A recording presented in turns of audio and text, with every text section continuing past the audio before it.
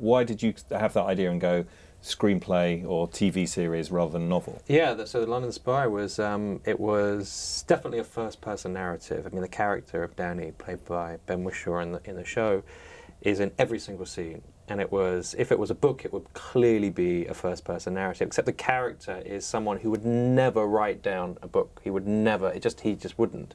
He's this person who so you just think, well, then it's impossible to write it as a book because instantly it becomes artificial because this person would never be writing the story that he's telling. So it had to be told visually, and then it was never going to be a film because it's longer and it just didn't have a film structure. So it kind of landed in, in television by, by that sense. And then um, I had been asked to think about this idea um, which in the end didn't go anywhere. And they said to me, working title said to me, "Do you have ideas of your own?" And I said, "Well, you know, there's this story I've been thinking about. How about this?"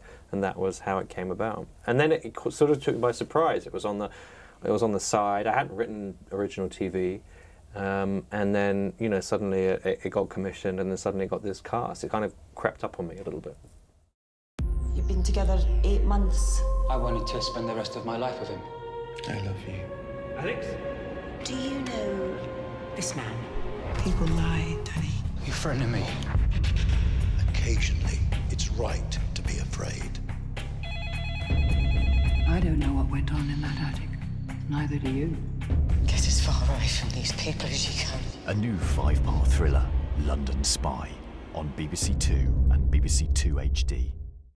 And, is, and are you done with that now? Is it is it self-contained, or will it be one of those things where they'll see how the ratings are when it comes out? Because it comes out in autumn. It does have an ending which could go on, but it was never conceived of in that way. And I do, do think, uh, you know, I, it would be a little bit like lots of people love it, therefore let's let's think of other things to do. And yeah, I think yeah. when you've got like that can be very like dangerous. Ben as we know. And you know the cast is really amazing. I think you're going to go back to them. You have to say I can do something that is as good. And if I could say that honestly, as opposed to slightly deludedly, um, Yeah. I would uh, I would be fine. And if it was even 85%, then I wouldn't at all. I just would. I just think let's come up with something else.